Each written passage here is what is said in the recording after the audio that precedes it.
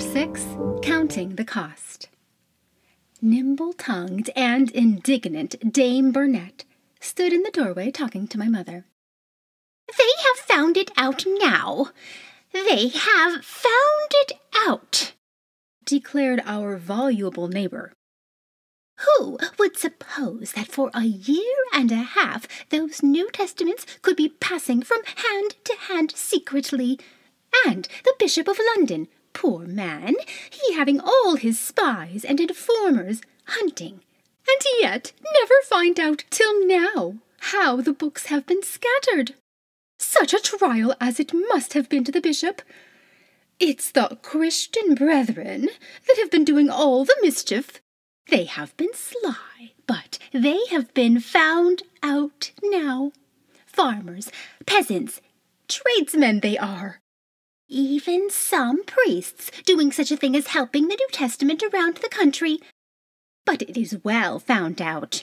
Crowds of country folk are being dragged in now, put in prison, or sent before the bishop's court. The bishops will see that there are no more testaments handed around.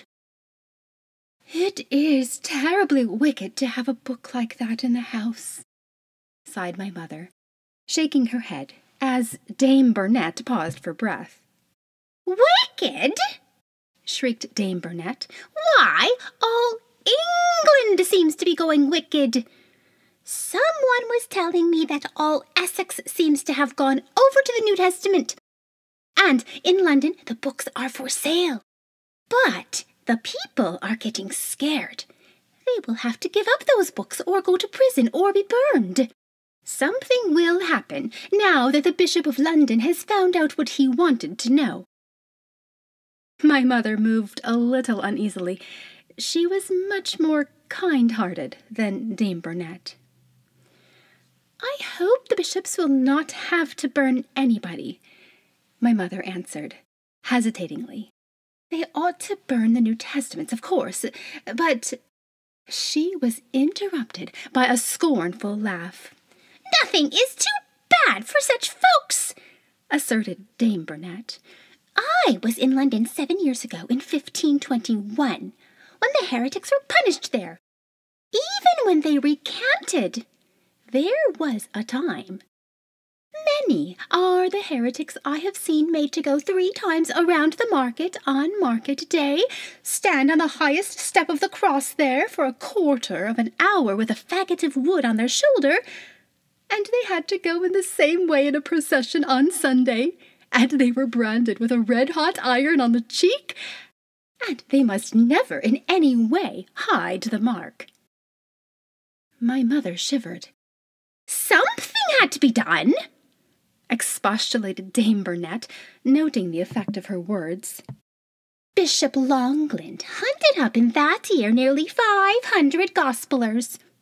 They used to do such awful things, those gospelers.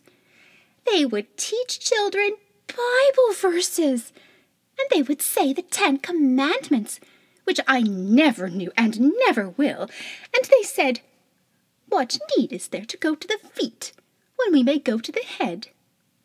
Meaning the priests by the feet, mind you, and the Bible or some such thing by the head and they would carry their books from one man to another and read all night sometimes in a book. And some of them would eat on a fast day. And they would never go on any pilgrimage, for they said the true pilgrimage was to go barefoot and visit the poor and sick. And much good it would do anybody to have such visitors. My mother smiled. Dame Burnett was never herself so very welcome a visitor at our house, though my mother was ever kind and friendly. And, pursued Dame Burnett, those gospelers had pieces of the old Wycliffe English Bible that almost no one could read, and no one ought to, and they would not give the pieces up, or worship the Virgin and the saints. But the gospelers said, Blessed be they that hear the word of God and keep it. Well, they got what they deserved. The bishop had the gospelers torn out of their houses and either burnt to death or else, if they recanted, they had to wear the faggot badge for life. Fanny is the one I had seen walking the street with the faggot badge on his clothes and the mark of the burn of the iron on his cheek. And if the wicked heretics now don't give up their New Testaments, we would like to see the same again. The women paid no attention to me. They did not know that there swept before me a vision of the man I had directed to neighbor Eld's hut. The man's cheek had a queer dark mark. That was it, I thought. He must have been burned once on his cheek because he was a gospeler. How it must have hurt! And he brought neighbor Eld the Testament. My very heart was quaking within me. What did burning people to death mean? What would my mother say if she knew that father had a New Testament?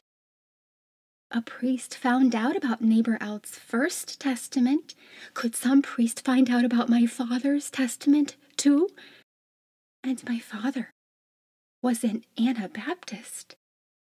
There are a good many of the butchers and tailors and carpenters among those Christian brethren who know they are suspected, and they are trying to get out of England, declared Dame Burnett as she made ready to go.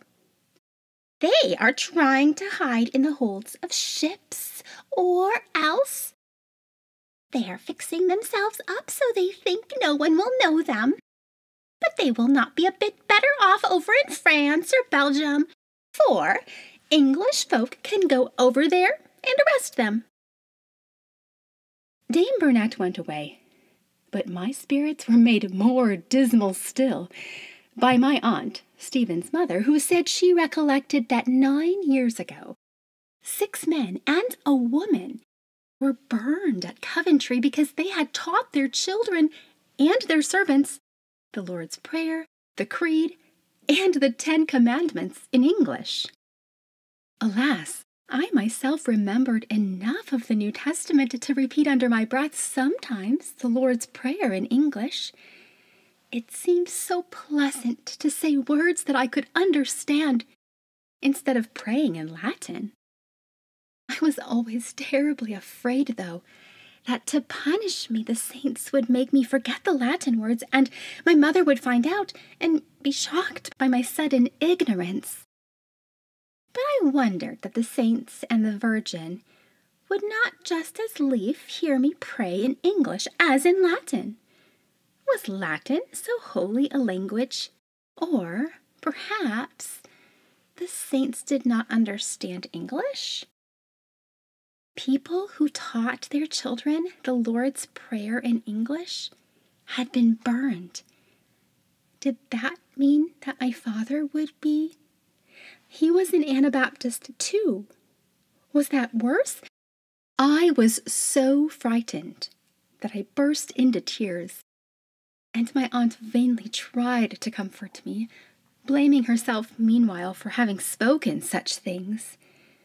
But I cried on and on till my mother, in alarm, declared that she believed I was ill. Oh, if I only dared tell my mother what ailed me! But I, I must never, never speak of the New Testament. What is the matter? queried my mother and at last I sobbed. Oh, father, father, I am so afraid that something will happen to father. My mother laughed a little as she drew my head closely to her. Editha, Editha, she chided gently. Nothing will happen to father. Silly little lass.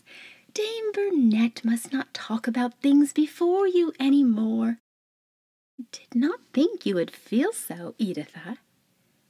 And my mother patted my cheek and kissed me, and then she went away and cut a piece of cheese and gave half to Stephen and half to me. This was a very great treat, and Stephen and I rejoiced over our dainty.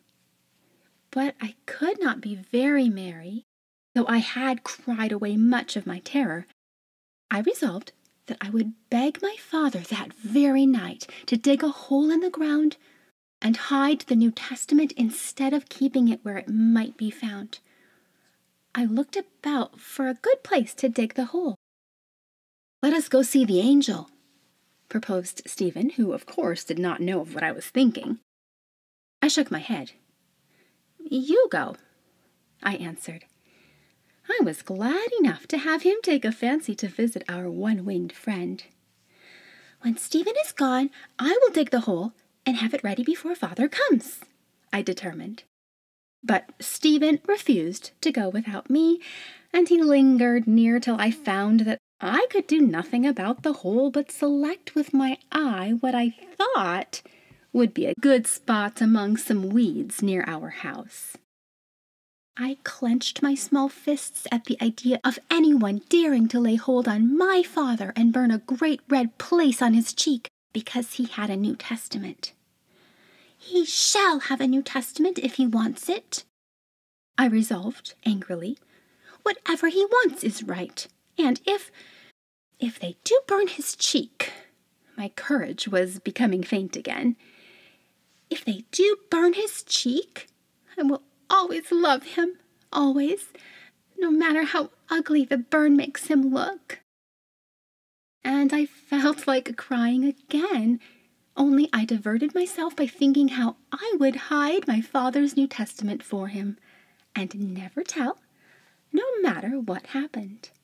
Oh, I would be very wonderfully brave indeed. But I found no opportunity that evening to say anything to my father about my plan of the hole, and the next day something happened that I had hardly expected. It was Sunday. It had been my father's custom sometimes on Sundays to walk with me to some quiet place in the fields and there read the New Testament, and there talk with me about what we read. And my father would there pray with me that the Lord Jesus might take away my sins.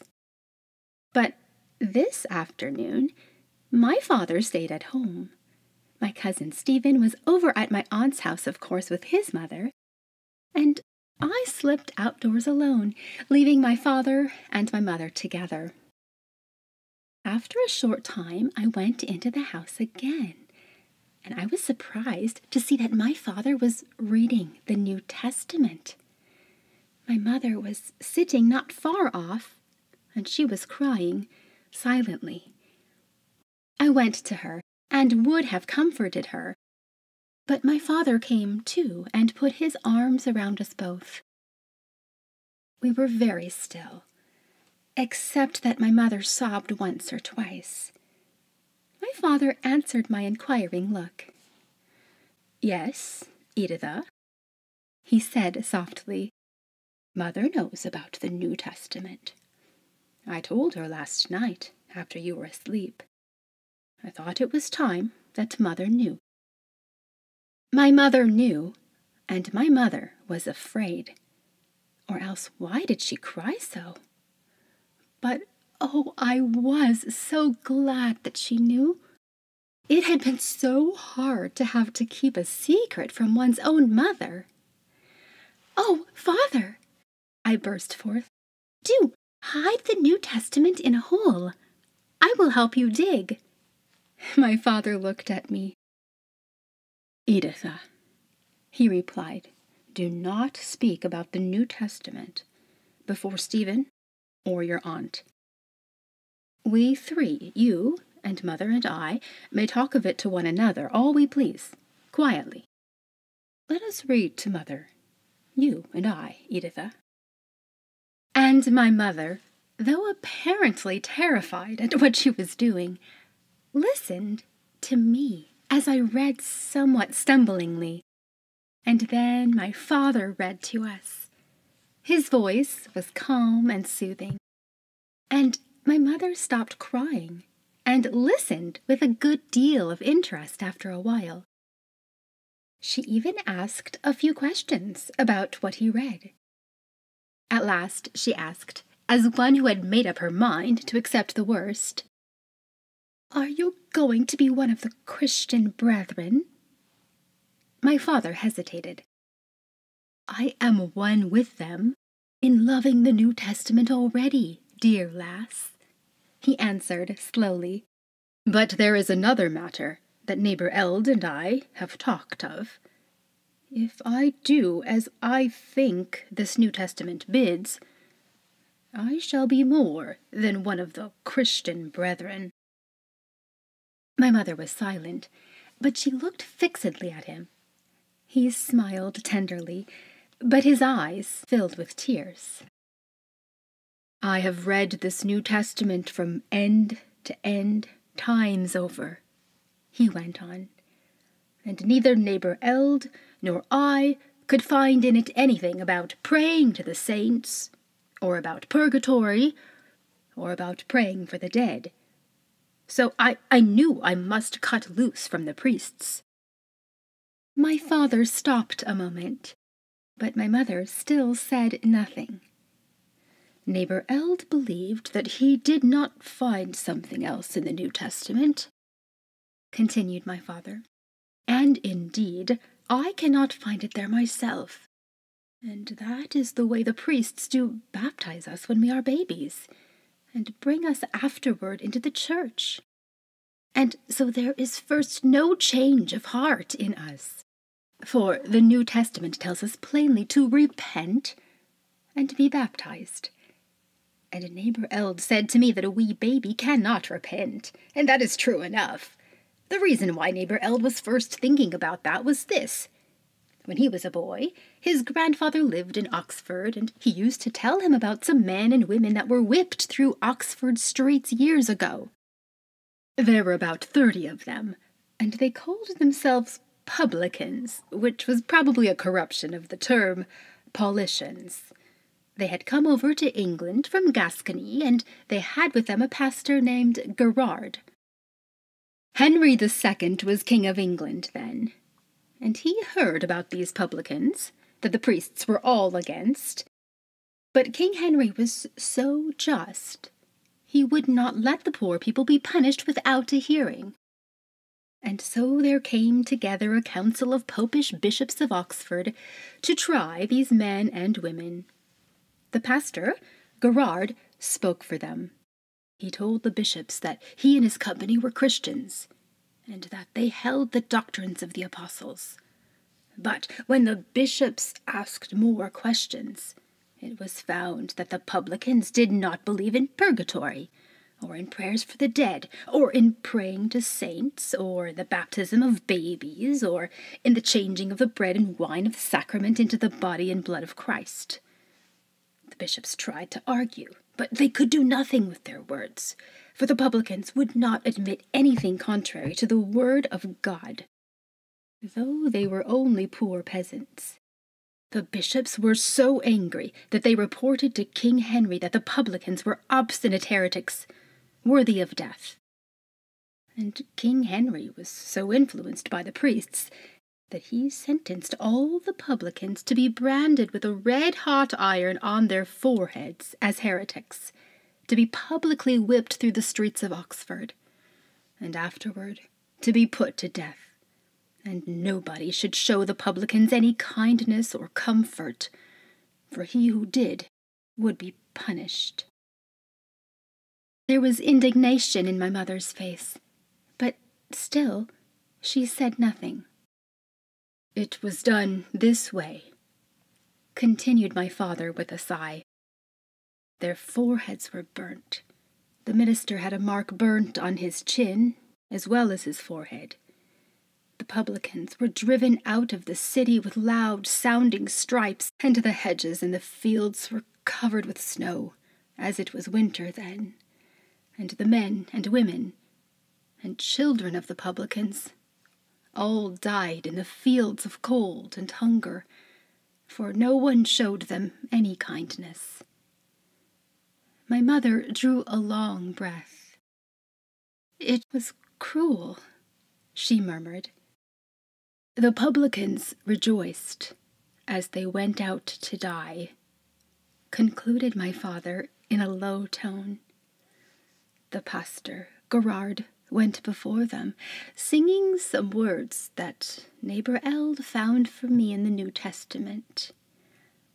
They are, Blessed are ye when all men shall hate you. There was a long pause. Oh, I wish, broke out my father vehemently, I wish the time might ever come when every man in England might worship God as he thought right. Freedom! Freedom! That is what we want.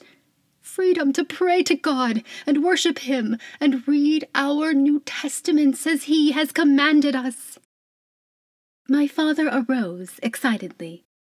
He started to leave the house when my mother stopped him. You did not tell us, she reminded him, why it was you told us about the publicans. Was neighbor Eld one? Are you one?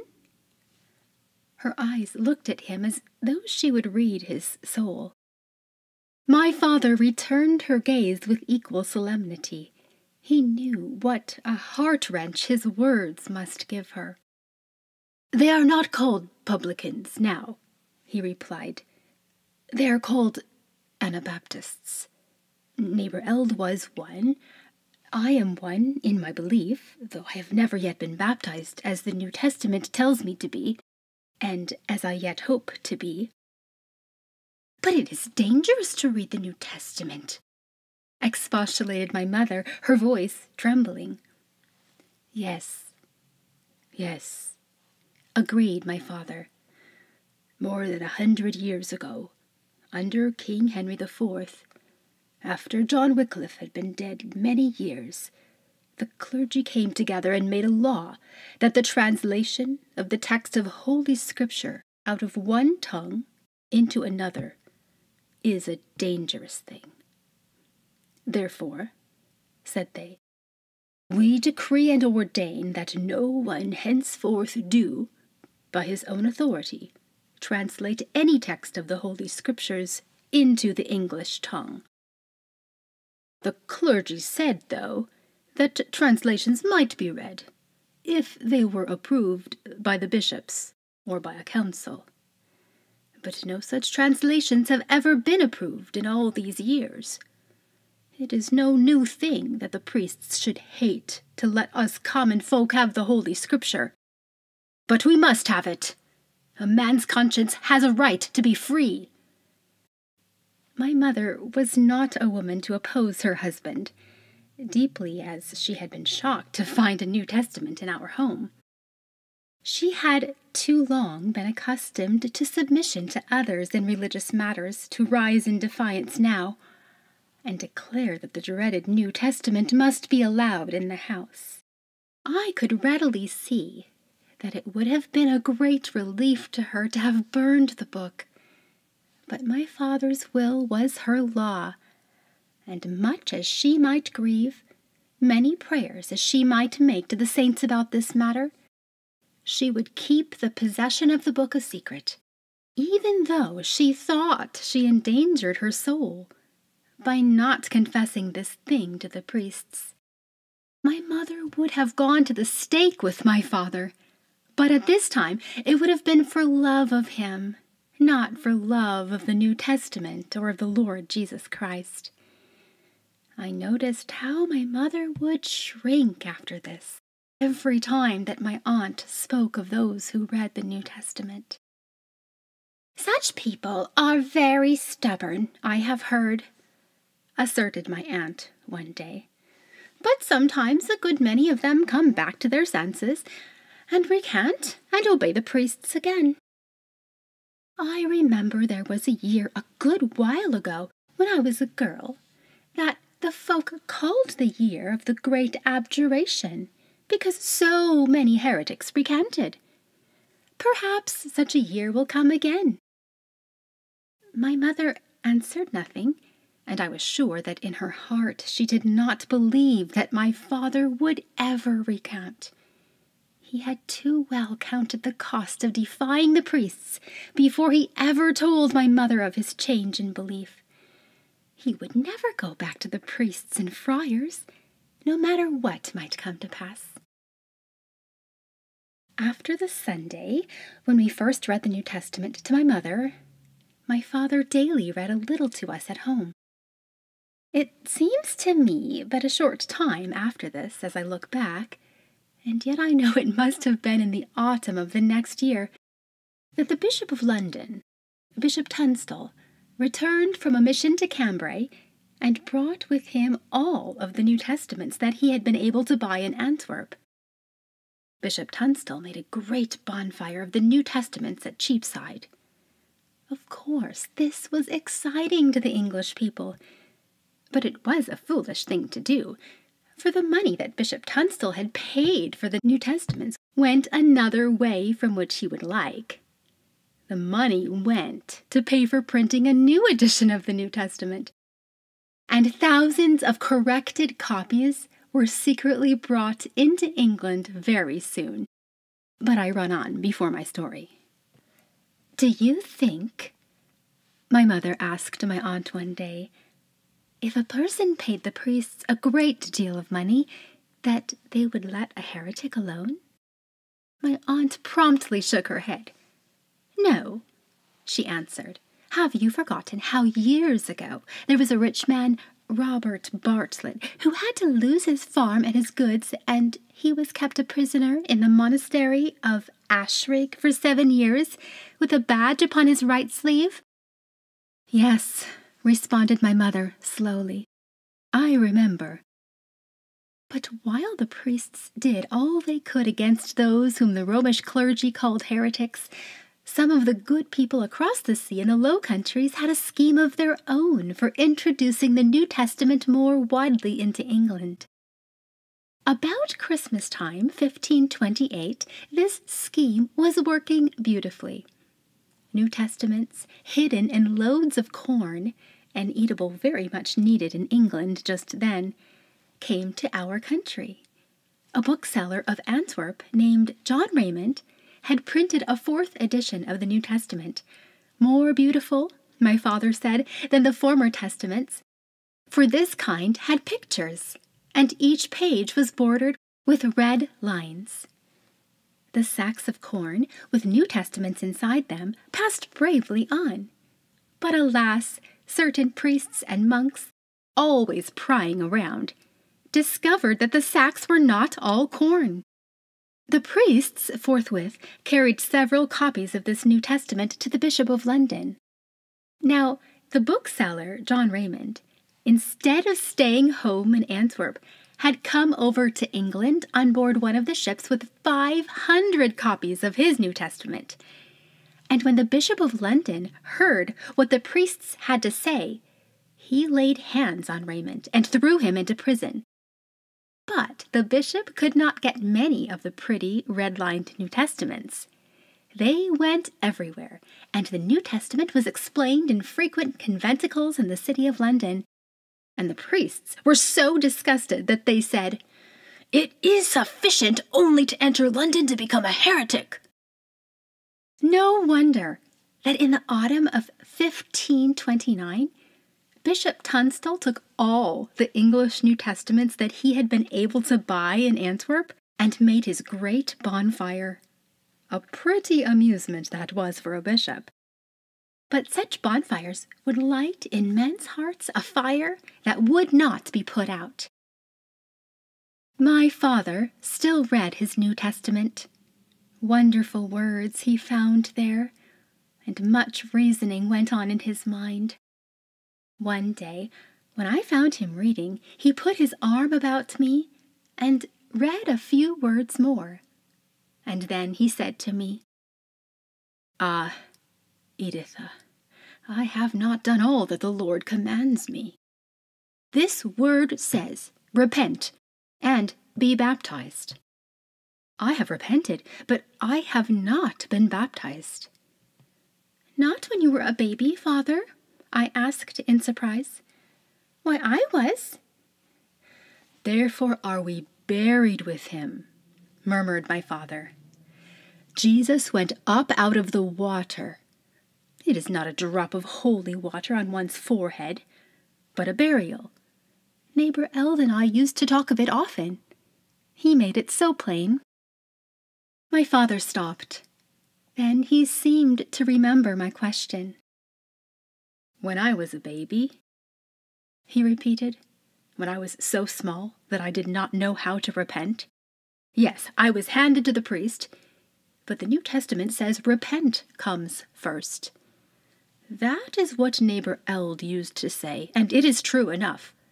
And Tyndale, the man who wrote out the New Testament in English, says, The plunging into the water signifieth that we die and are buried with Christ, and the pulling out again signifieth that we rise again with Christ in a new life. Did I do that when I was a baby, baptized by the priest, Editha? Was my life different after baptism? I had not repented. I was too little to believe. Why should the priest have baptized me? Why should I count that baptism as aught now? I could not answer. I was puzzled by his words.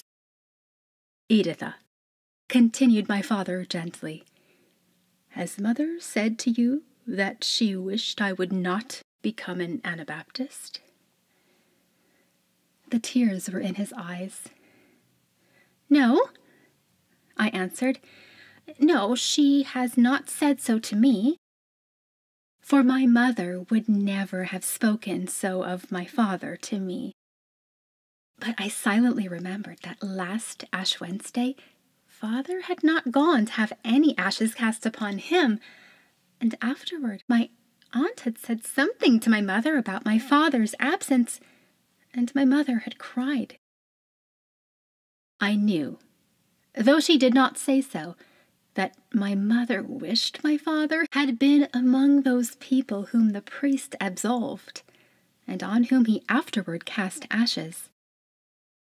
My father was becoming a marked man.